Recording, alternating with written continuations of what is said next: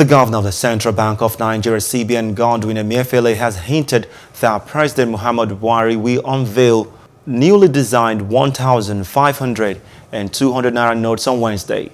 At the bank's monetary policy committee meeting, that the CBN MPC has hiked monetary policy to 16.5% from 15.5%, while all other parameters remained unchanged. Emefiele had on October 26 said the Apex Bank will issue the redesigned 200, 500 and 1,000 naira notes on December 15, while the new and existing currencies will remain legal tender and circulate together until January 31, 2023. For information, indeed, we are no longer waiting till December 15th to begin to, I mean, to unveil and begin to release the new nodes.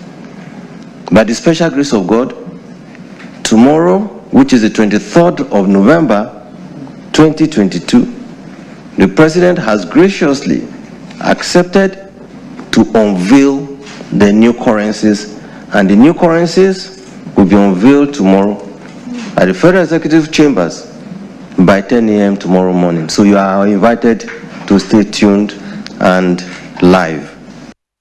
Hello. Hope you enjoyed the news. Please do subscribe to our YouTube channel and don't forget to hit the notification button so you get notified about fresh news updates.